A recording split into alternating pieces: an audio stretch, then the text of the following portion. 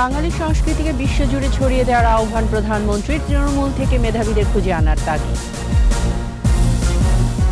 রপ্তানিতে প্রবৃদ্ধি ধরে রাখার পাশাপাশি রেমিটেন্সে সুখবর, ডলার সংকট কমার আশা। সুনামগঞ্জ নেত্রকোনায় বন্যা পরিস্থিতির অবনতি দুর্গতরা আশ্রয় কেন্দ্রে দুই নদীর পানি বিপদ সীমার উপরে।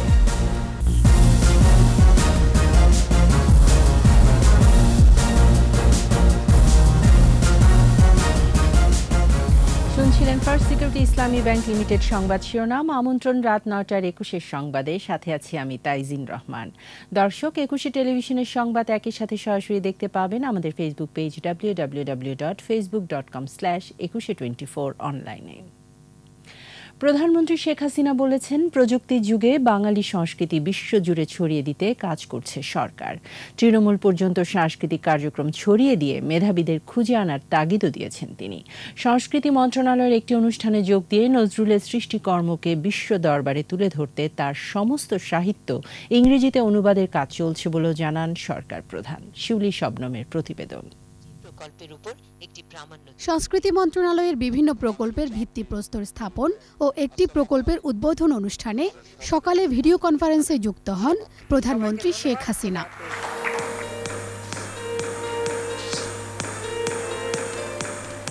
প্রধানমন্ত্রী বলেন, জাতির পিতার সাংস্কৃতিক দর্শন বাস্তবায়ন তার সরকারের দায়িত্ব।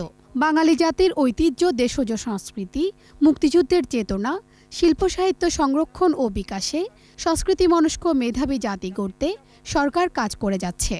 শিল্পের সকল শাখার উৎকর্ষ সাধন এবং চর্চার ক্ষেত্রকে আরও প্রসারিত করার উদ্যোগ নিয়েছি।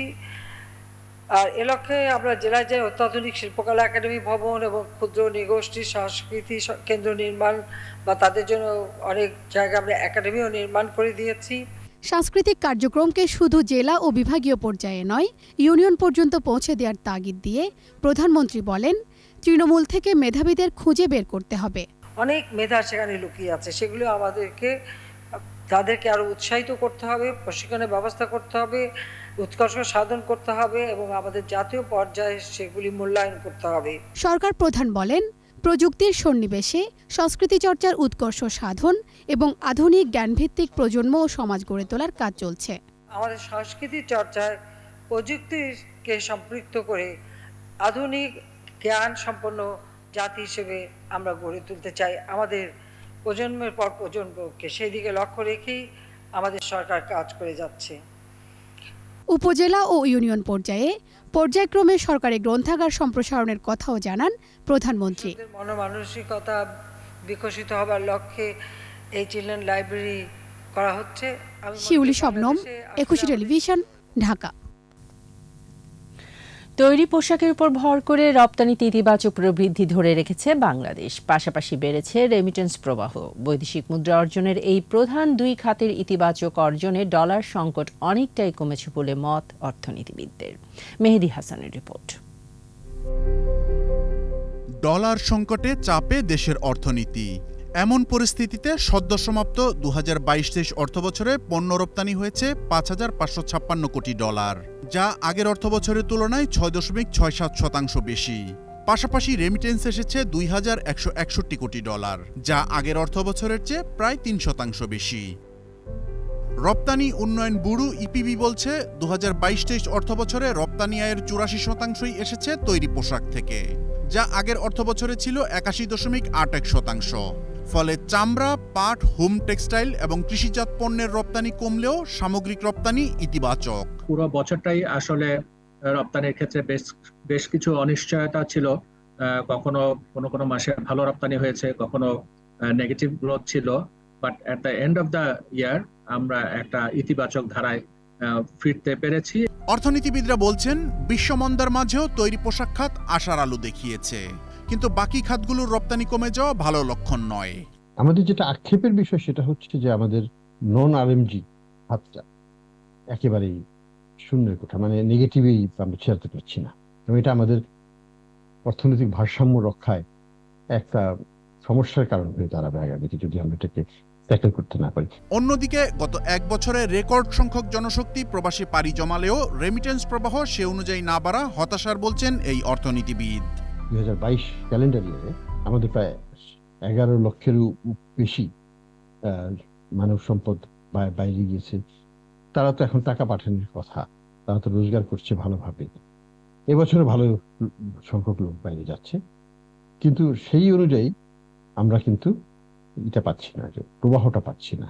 এখনও অদক্ষ বা আধা দক্ষ শ্রমিকের উপর নির্ভর করায় রেমিটেন্স প্রতিযোগী দেশগুলোর তুলনায় বাংলাদেশ পিছিয়ে আছে বলেও মত তার।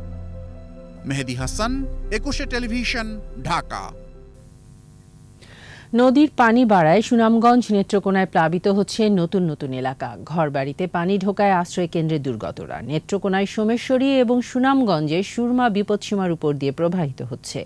এছাড়া আগামী চব্বিশ ঘন্টায় তিস্তার পানি ডালিয়া পয়েন্টে বিপদসীমা অতিক্রমের আশঙ্কা করা হচ্ছে। এদিকে যমুনার ভাঙনে বগুড়ার সারিয়াকান্দিতে হুমকিতে ফসলি জমি সহ বিভিন্ন স্থাপনা। প্রতিনিধিদের প্রতিবেদনে জানাচ্ছেন খুরশিদ আলম মুকুল। বাড়ছে যমুনার পানি, বাড়ছে স্রোত।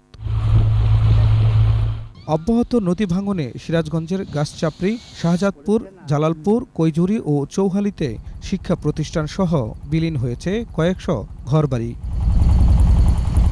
হুমকিতে থাকা মাথাগোচার শেষ সম্বল সহ যে যা পারছেন তাই নিয়ে যাচ্ছেন নিরাপদ স্থানে। দুই বছর ধরে কাজটা পাস হয়েছে তো তার কোনো বস্তাও ফেলায় না তার কিছুও ফেলায় না। বগুড়ার সারিয়াকান্দির চরাঞ্চলে বিলীনের পথে ফসলি জমি বসতঘর আর শিক্ষা প্রতিষ্ঠান। আমাদের গ্রাম তো ছিল এখানে সারিবদ্ধভাবে না হলো চার থেকে পাঁচটা। এখন বর্তমানে এখানে গ্রাম আছে একটা। ভাঙন রোধে ব্যবস্থা নিয়েছে পানি উন্নয়ন বোর্ড। ভাঙ্গন রক্ষার্থে আমরা বন্যাকালীন সময়ে জরুরি প্রতিরক্ষামূলক কাজ করেছি। ভারী বৃষ্টি আর পাহাড়ি ঢলে বেড়েছে সুরমা কুশিয়ারা জাদুকাটা কংস ধনু উদ্বাখালী সুমেশ্বরী সহ সুনামগঞ্জ ও নেত্রকোনার সব নদ নদীর পানীয়। নতুন করে প্লাবিত নির্মাঞ্চল ঘরবাড়িতে পানি ঢুকায় আশ্রয় কেন্দ্রে বন্যা কবলিতরা। আমরা পানি উঠে গেছে। আমরা এখন সুনামগঞ্জ সরকারি কলেজে আশ্রয় নিছি। নেত্রকোনার কলমাকান্দায় উদ্বাখালী নদীর পানি বিপদসীমার উপরে। নির্মাঞ্চল প্লাবিত হয়ে পানিবন্দী কয়েক গ্রামের মানুষ। বাড়ির পাশে সাইড দিকে গিরি আছে। পরিস্থিতি মোকাবেলায় প্রস্তুত প্রশাসন। খোঁজ খবর রাখছি এবং যেখানে লোকজনের আশ্রয় দরকার হবে আমাদের আশ্রয় কেন্দ্র খোলা আছে সেখানে আমরা সরিয়ে নিতে পারব। গাইবান্ধায় তিস্তা নদীর পানি কমলেও বেড়েছে ব্রহ্মপুত্র ঘাঘট ও করতোয়া নদীর পানি। পানি উঠেছে চরাঞ্চলের নিচু এলাকায়। খুশিদ আলম একুশে টেলিভিশন। নিচ্ছি সংবাদ বিরতি, বিরতির পর যা থাকবে। বিশ্বকাপ বাছাই স্কটল্যান্ডের বিপক্ষে হারল জিম্বাবুয়ে, মূল পর্বে নিশ্চিতের শেষ ম্যাচের অপেক্ষা। আমন্ত্রণ আবারও রাত নয়টার একুশের সংবাদে। ভিভিআইপিদের জনগণ থেকে বিচ্ছিন্ন করে নয়, বরং জনসম্পৃক্ততা অব্যাহত রেখেই সর্বোচ্চ নিরাপত্তা নিশ্চিত করতে প্রেসিডেন্ট গার্ড রেজিমেন্ট পিজিআর এর প্রতি আহ্বান জানিয়েছেন রাষ্ট্রপতি মোহাম্মদ শাহাবুদ্দিন। সকালে বাহিনীর আটচল্লিশতম প্রতিষ্ঠা বার্ষিকী অনুষ্ঠানে যোগ দেন রাষ্ট্রপতি। সার্বিক আনুষ্ঠানিকতার পর যোগ দেন প্রেসিডেন্ট গার্ড রেজিমেন্ট দরবার অনুষ্ঠানে। বক্তব্যে পিজিআর সদস্যের একাগ্রতা, নিষ্ঠা, শৃঙ্খলাবোধ ও পেশাগত দক্ষতার প্রশংসা করেন এবং নির্দেশ দেন আধুনিক তথ্য প্রযুক্তি ব্যবহার করে সুষ্ঠুভাবে দায়িত্ব পালনের।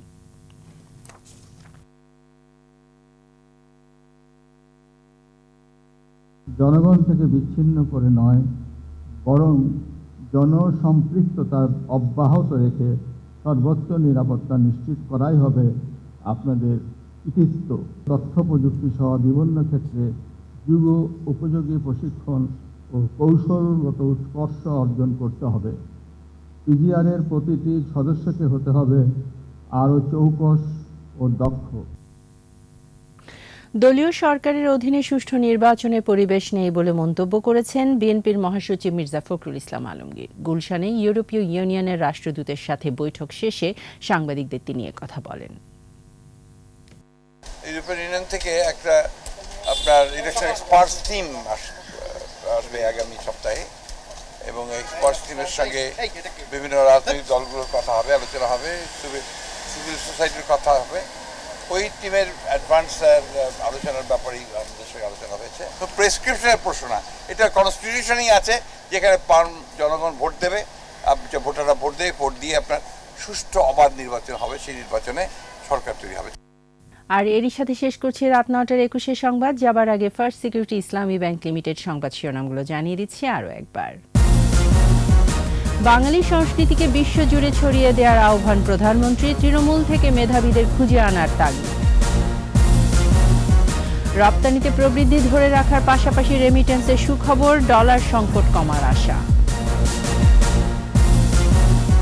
সুনামগঞ্জ নেত্রকোনায় বন্যা পরিস্থিতির অবনতি, দুর্গতরা আশ্রয় কেন্দ্রে দুই নদীর পানি বিপদ সীমার উপরে।